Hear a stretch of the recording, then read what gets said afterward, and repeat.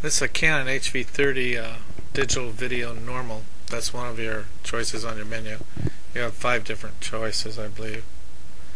Uh, this is the only one that I've used so far where the moon comes out around. This is a full moon on July 16, 2008 in Quail Valley, California. And I take the exposure down to a minus 11 and up, which is almost can't see anything there at minus 11 and uh, then when you take it up to plus 11 it takes away all the detail. It's just white.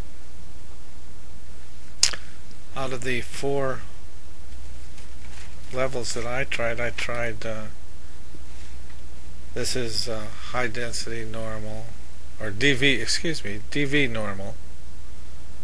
And then there's uh, next one is high density 30 uh, frames. And it's not round. I like the color better.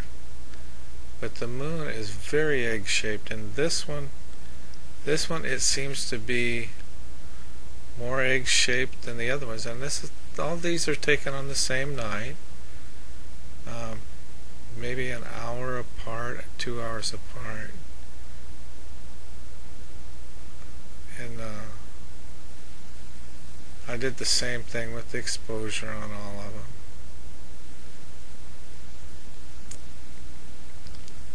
And it might be because uh, when I didn't, I would rewind the tape back clear to the start and I would change the selection from high density to digital video to anyway I would change it Maybe you're not supposed to do that.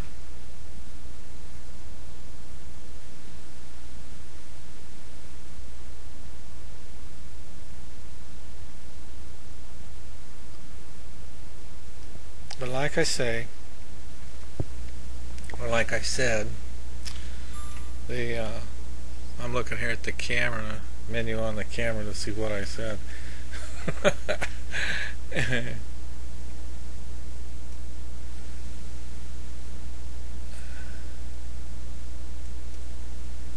you have five. You have high density, high definition video, high definition PF30, high definition video PF24. You have DV wide and DV normal. And the DV normal was the first one with the round moon. The rest of these high definition videos, the, the, the moon doesn't look round to me. I'm going to make a DVD and put it in the television. Uh,